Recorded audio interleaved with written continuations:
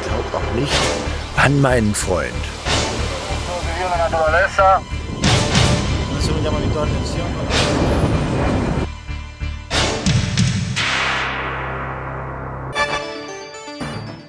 Nachrichten auf SimTV.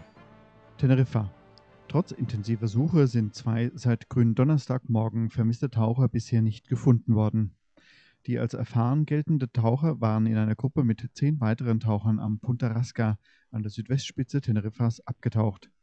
Bei Rückkehr zum Boot fehlten die beiden Taucher. Das Tauchgebiet gilt wegen hoher Wellen und starker Strömung als schwierig. Die Retter betrachten die Möglichkeit, die beiden noch lebend zu finden, als aussichtslos.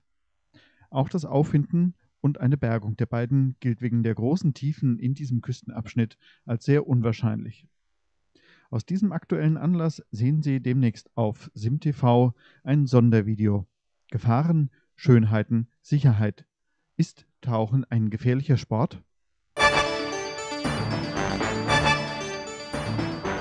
Teneriffa. In Buena Vista del Norte sind auf Einladungen der Gemeinde und verschiedener Umweltorganisationen 34 Jugendliche aus europäischen Ländern zu Gast. In Workshops mit Meeresbiologen und Umweltspezialisten werden Erfahrungen im Umweltschutz ausgetauscht und aktiv am Punta de Teno eine Reinigung der Unterwasserzone am Leuchtturm durchgeführt. Spezielle Beobachtung der freiwilligen Helfer unterliegen die Seeigel, die sich auf allen kanarischen Gebieten zur Plage ausgeweitet haben. Auch die Uferzone wird von Müll gereinigt. Alle Teilnehmer äußerten sich über das gemeinschaftliche Projekt sehr positiv. Teneriffa Festival Eolico. Das seit 2003 organisierte und stattfindende Festival Eolico wird in diesem Jahr am 4. und 5. Juli auf dem Gelände der ITER in Granadilla stattfinden. Das gaben jetzt die Organisatoren bekannt.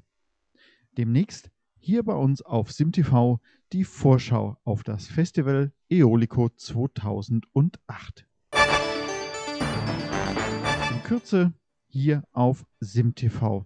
Gefahren, Schönheiten und Sicherheit. Ist Tauchen ein gefährlicher Sport? Wir sprechen mit Spezialisten, Fachleuten zum Thema Tauchen auf Teneriffa.